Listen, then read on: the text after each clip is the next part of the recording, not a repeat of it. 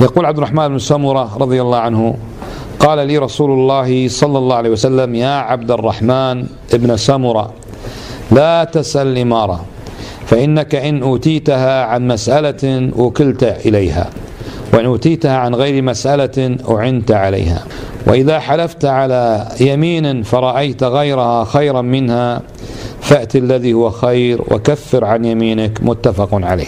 قال الشارح رحمه الله تعالى هذا الحديث احتوى على جملتين عظيمتين. إحداهما أن الإمارة وغيرها من الولايات على الخلق يكون متولي على الخلق مسؤول لا ينبغي للعبد أن يسألها ويتعرض لها. الله أكبر. أين هذا التوجيه من حال الناس؟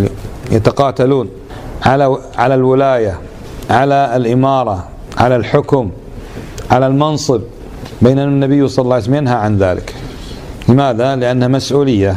فالإنسان إذا تولى على اثنين سئل عنهم يوم القيامة فكيف إذا تولى على بلد أو وزارة أو ولاية كبيرة فإنه مسؤول عن ذلك يوم القيامة.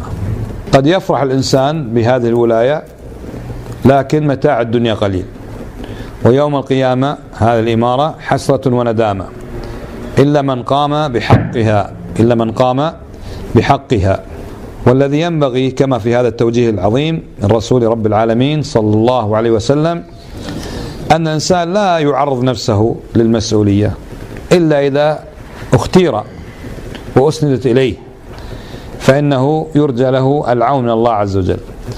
أما إذا كان هو حريصا على أن يأخذها وعرض نفسه وطلبها فهذا حري أن يخذل والعياذ بالله.